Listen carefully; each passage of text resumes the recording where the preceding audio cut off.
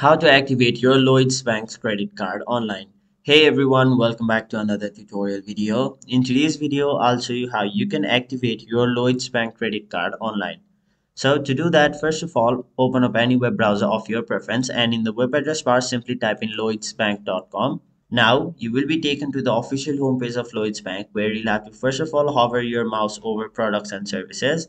After that, a drop-down box will appear where you'll have to again hover your mouse over credit cards now, a lot of different options will appear to the right of credit card. So you'll have to tap on the option activate your credit card, which is right over here.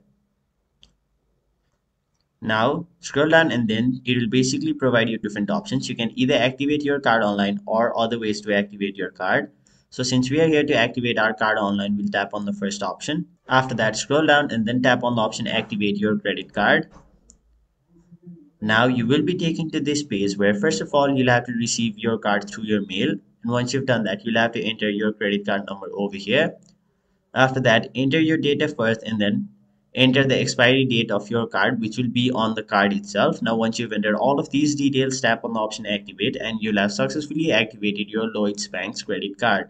So that was it for this video. Hope this video was helpful to you guys and if it was, make sure you like this video and subscribe to our channel so that you don't miss out on further videos such as these.